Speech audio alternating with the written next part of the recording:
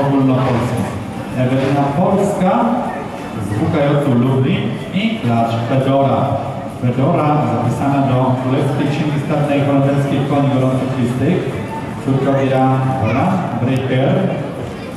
Bardzo młody koń, sześcionetny.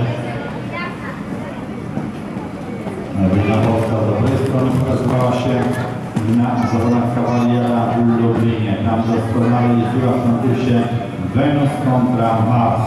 Fantastycznie dopingowana przez publiczność kawaliary w swoim mieście.